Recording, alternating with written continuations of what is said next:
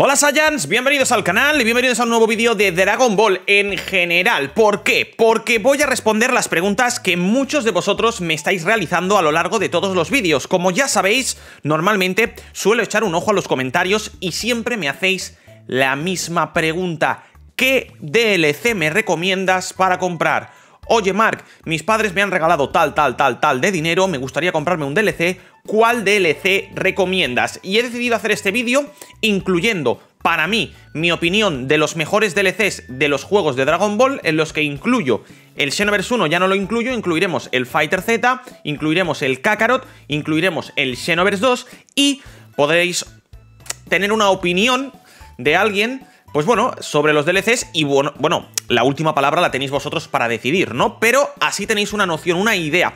Hace tiempo hice un vídeo sobre para mí cuál era el mejor DLC de Xenoverse 2, pero este vídeo de hoy es un poquito más completo. Así que para que llegue a todo el mundo, agradecería que le dieseis un buen like y activéis la campanita para más vídeos de Dragon Ball. Y me gustaría deciros antes de empezar una cosa muy importante, y es que este año hemos empezado con buen pie. Me he hecho un, un nuevo Twitter oficial en el cual me vais a poder seguir, ya somos 66, vamos a intentar llegar a los 10.000 este año. ¿Por qué me borro la antigua cuenta de Twitter?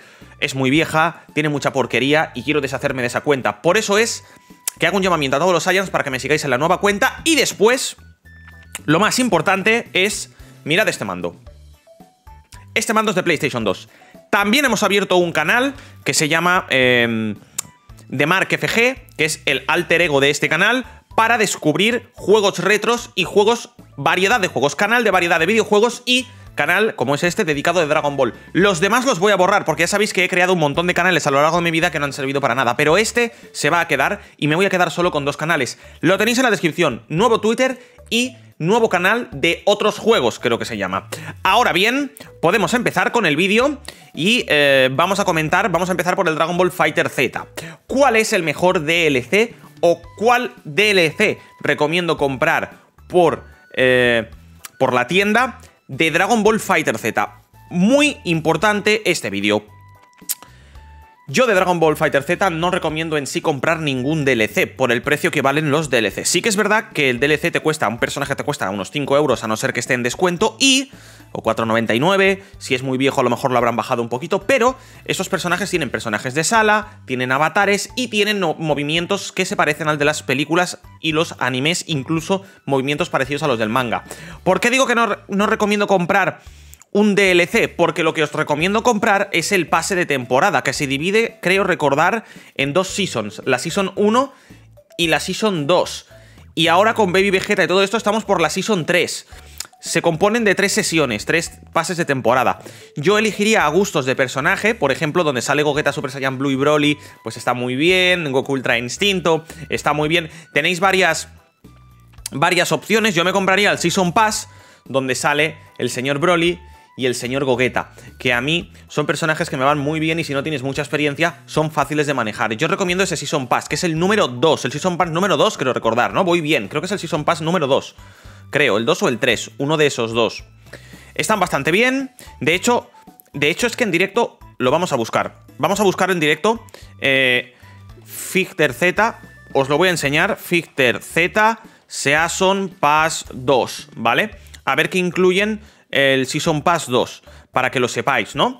Y así podáis... Eh, podáis disfrutar de, de, bueno, de estos personajes. En el Pass 1 te viene Bardock, Broly, Vegeto, eh, Super Saiyan God, Zamasu, Goku base, Vegeta base, el Android 17 y Cooler. Es un pase de temporada que está bastante bien. En el 2, ¿vale?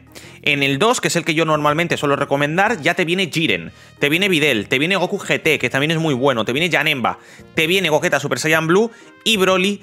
Eh, Super Saiyan legendario de Dragon Ball Super. Ese es el que yo recomiendo, el Pass 2. Y luego está el Pass 3, que te incluye a Kefla, te incluye a Goku, te incluye a Tortuga Duende, a Baby Vegeta, en fin, eh, son los más nuevos, pero yo en sí recomiendo comprar el Pass 2. Esto del bloque de Dragon Ball Fighter Z. Vámonos a ir al bloque de Dragon Ball Z Kakarot.